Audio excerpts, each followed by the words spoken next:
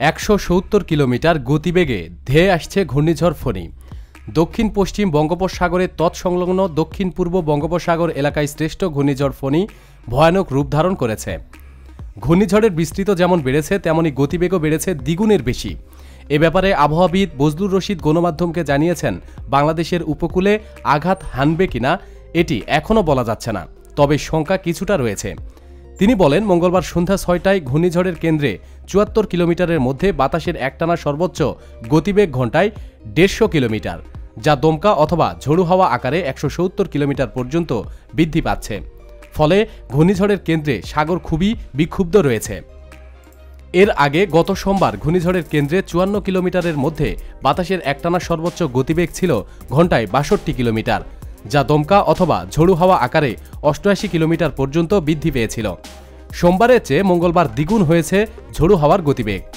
এ অবস্থায় সাগর উত্তাল থাকায় চট্টগ্রাম, কক্সবাজার, মোংলা ও পায়রা সমুদ্রবন্দরগুলোকে দুই নম্বর দূরবর্তী সতর্ক সংকেত দেখাতে বলেছে আবহাওয়া অফিস। এজন্য উত্তর বঙ্গোপসাগর ও গভীর সাগরে অবস্থানরত সব ধরনের মাছ ধরা নৌকা ও ট্রলারকে পরবর্তী নির্দেশনা না দেওয়া পর্যন্ত সাবধানে চলাচল করতে বলা হয়েছে। এদিকে ফণি মঙ্গলবার সন্ধ্যা ছয়টায় চট্টগ্রাম সমুদ্রবন্দর থেকে এক হাজার দুইশো পঞ্চাশ কিলোমিটার দক্ষিণে, কক্সবাজার সমুদ্রবন্দর থেকে এক হাজার একশো পঁচানব্বই কিলোমিটার, মোংলা সমুদ্রবন্দর থেকে এক হাজার একশো পঞ্চাশ কিলোমিটার ও পায়রা সমুদ্রবন্দর থেকে এক হাজার একশো চল্লিশ কিলোমিটার দক্ষিণে অবস্থান করছিল। এক্ষেত্রে সোমবারের চেয়ে মঙ্গলবার উত্তর পশ্চিম দিকে প্রায় সাড়ে তিনশো কিলোমিটার উপকূলের দিকে এগিয়ে আসছে ঘূর্ণিঝড়। এটি আরও ঘনীভূত হয় উত্তর ও উত্তর পশ্চিম দিকে অগ্রসর হচ্ছে। তাছাড়া আবহাওয়া অফিস আগে জানিয়েছিল, ভারত উপকূলে ফণি আঘাত হানলে সেটা হবে চারে মে রাত অথবা পাঁচে মে দিন। আর বাংলাদেশের উপকূলে আঘাত হানতে সেটা আসবে দুয়ে মে রাতের দিকে।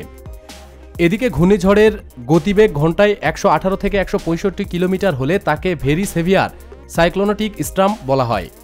একশো থেকে দুইশো বিশ কিলোমিটার হলে এক্সট্রিমলি সেভিয়ার সাইক্লোন স্ট্রাম, দুইশো একুশ কিলোমিটারের বেশি হলে তখন সেটাকে সুপার সাইক্লোন বলে। এদিকে ফরিদপুর, রাজশাহী, ঈশ্বরদী, মংলা, যশোর, চুয়াডাঙ্গা অঞ্চলসমূহের উপর দিয়ে বয়ে যাওয়া মৃদ তাপপ্রবাহ আজ বুধবার একে মে প্রশমিত হওয়ার আভাস দিয়েছে আবহাওয়া অফিস।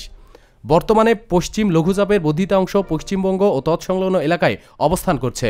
ফণী ও লঘুচাপের এই অবস্থায় বুধবার সন্ধ্যা ছয়টা পর্যন্ত দেওয়া এক পূর্বাভাসে সংস্থাটি জানিয়েছে, রংপুর, ময়মনসিংহ, সিলেট বিভাগের দু এক জায়গায় অস্থায়ীভাবে দমকা অথবা ঝড়ু হওয়া ও বৃষ্টি সহ বর্জ্যবৃষ্টি হতে পারে। এছাড়া দেশের অন্যত্র অস্থায়ীভাবে আংশিক মেঘলা আকাশ সহ আবহাওয়া প্রধানত শুষ্ক থাকতে পারে। সারা দেশে দিনের তাপমাত্রা সামান্য হ্রাস পেতে পারে এবং রাতের তাপমাত্রা প্রায় অপরিবর্তিত থাকবে। প্রতিদিন সব খবরাখবরের জন্য আমাদের সাথেই থাকুন এবং সবার উপকারের জন্য ভিডিওটি শেয়ার করুন। ধন্যবাদ। প্রিয় দর্শক, আমাদের দ্বিতীয় চ্যানেল সেরা নিউজ থেকে একটু ঘুরে আসুন। ভিডিওগুলো ভালো লাগলে অবশ্যই সাবস্ক্রাইব করুন। চ্যানেলটির লিংক ভিডিও ডিসক্রিপশানে দিয়ে দেওয়া হয়েছে। ধন্যবাদ।